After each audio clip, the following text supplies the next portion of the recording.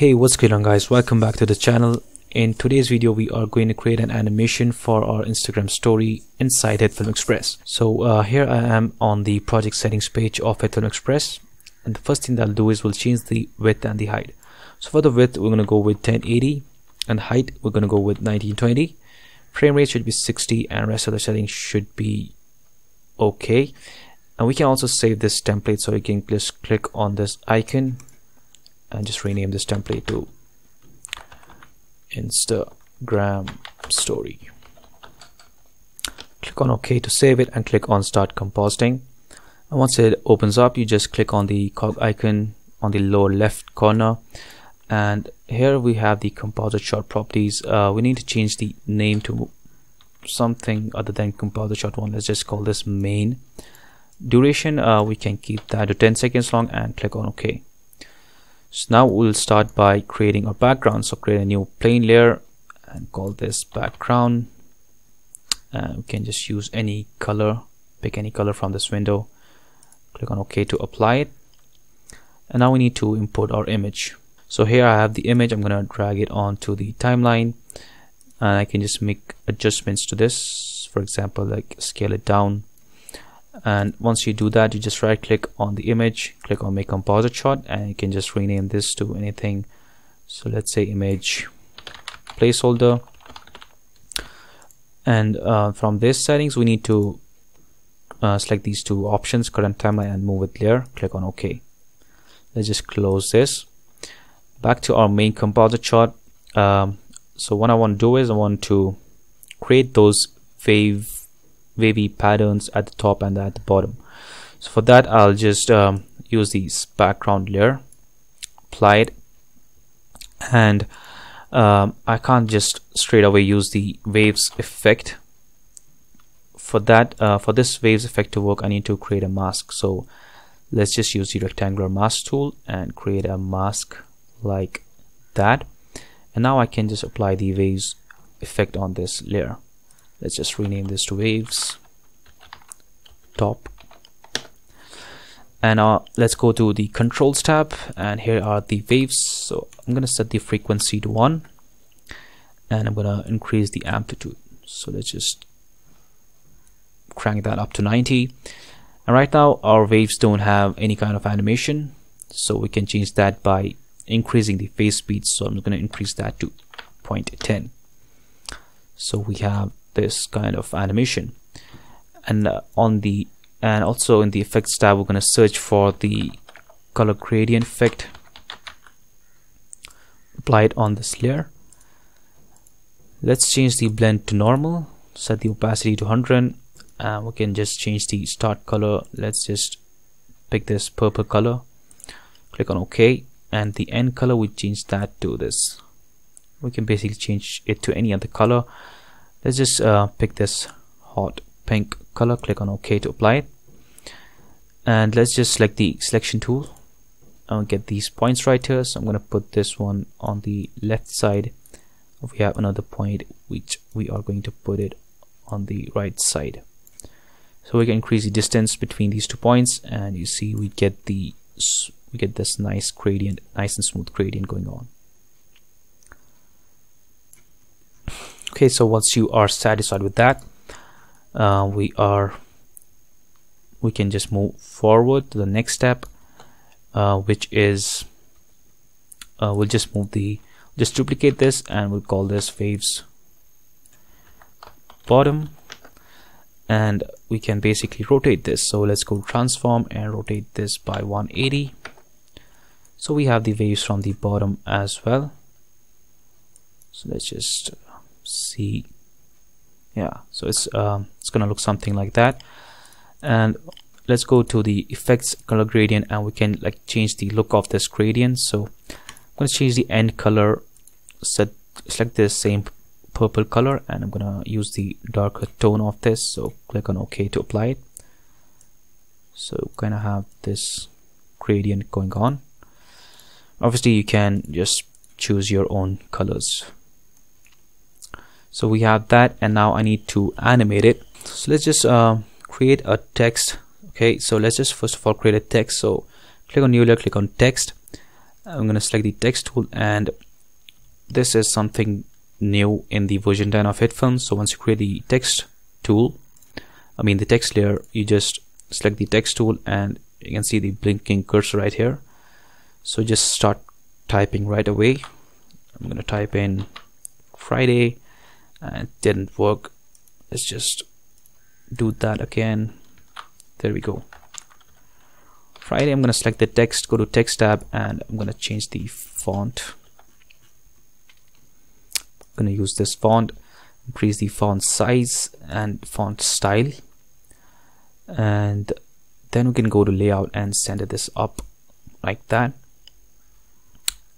I'm gonna rename this text to Friday I'm gonna duplicate this and uh, I'm gonna again use the text tool select the text remove it and I'm gonna type in vlog.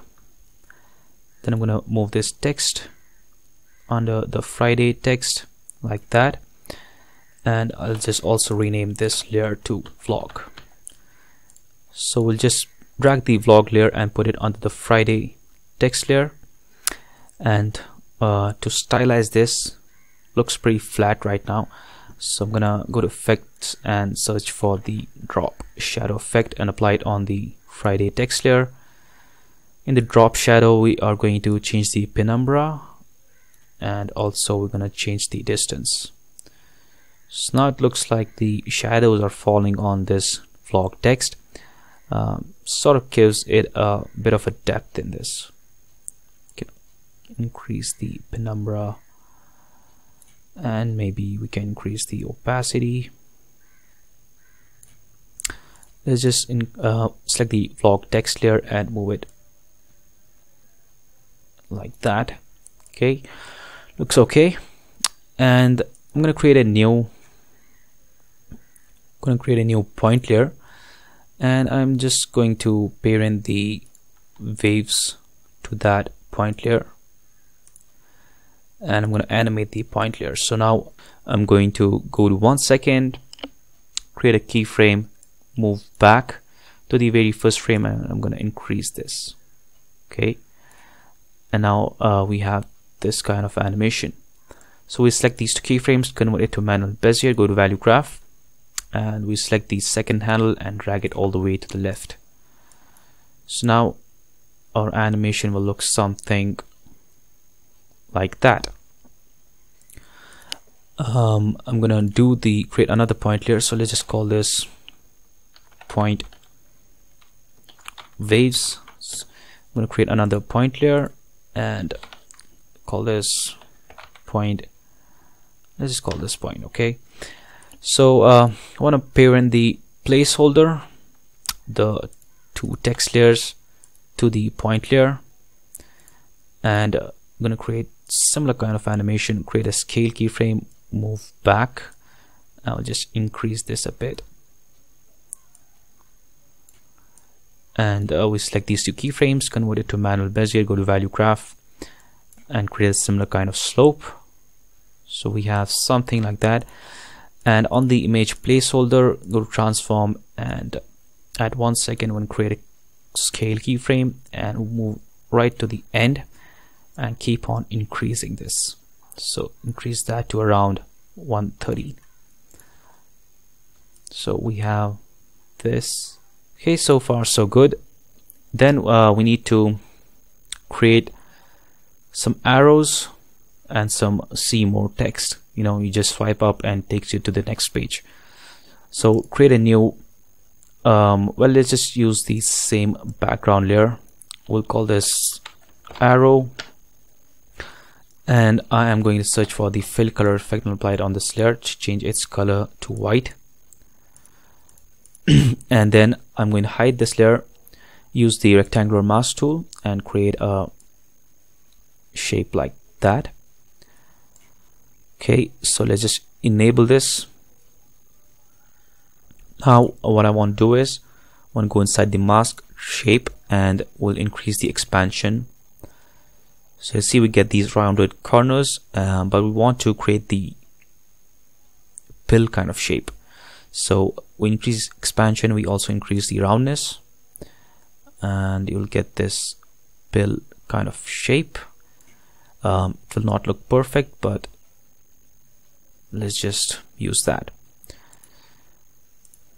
We can duplicate this mask or uh, first of all let's just use the selection tool. And you can see the anchor point is right here. So hold the shift key and move this anchor point right in the center like that. And we can now rotate this to 45 degrees.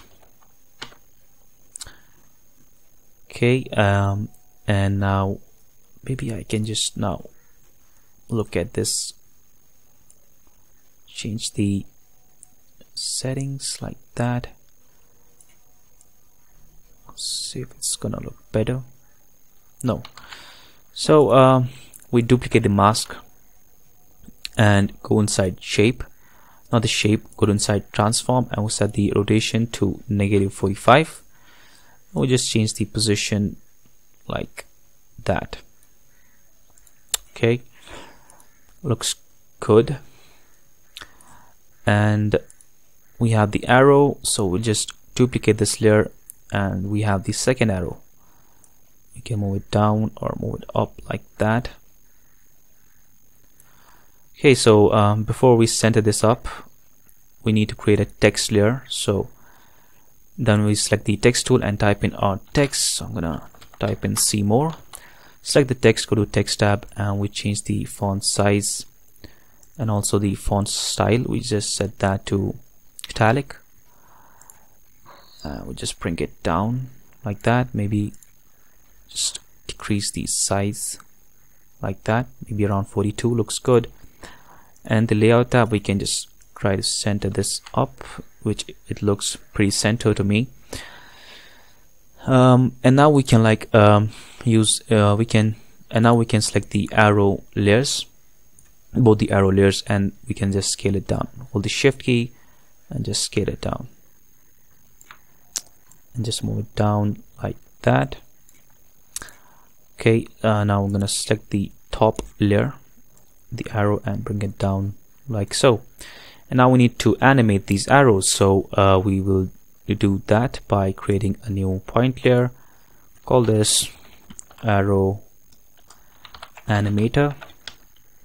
I'm gonna parent these two arrow layers to the arrow animator layer we'll transform and we'll begin our animation at one second. Uh, we'll create a position keyframe move 30 frames forward set that to 60 move 30 frames forward set that back to 0 and we move 30 frames forward set that back to 60 select all the keyframes and convert it to convert these keyframes to manual bezier. So now we'll have this kind of animation. So after 60 it should again start at 0 so I'm going to copy these keyframes move 30 frames forward paste the keyframes move to the end and move 30 frames forward paste the keyframes and just repeat the process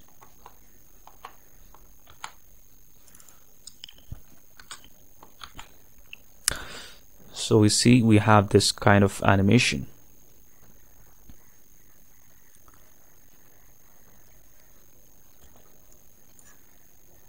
So uh, there we go. That's how you can create this cool uh, Instagram story animation in HitFilm Express.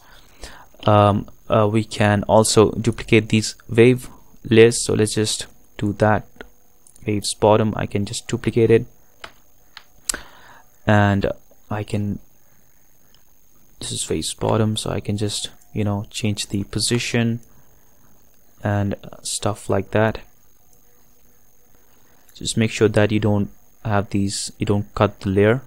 So uh, to fix that we can like increase the scale on this. And now you can just move you have more freedom to move around this layer. So you can see we have these nice gradients going on at the bottom. And we can also like uh, stagger this layer maybe by about 10 or 15 frames. And it'll create a really nice kind of animation. We can also go to controls and effects. We can change the look of the gradient as well. So let's just do that real quick. Maybe let's go with the black one. Black and the end color let's just make it look something like this. So we have something like that. So uh, basically that's how you can create this kind of animation. You do the same thing from the top as well. And that's pretty much it.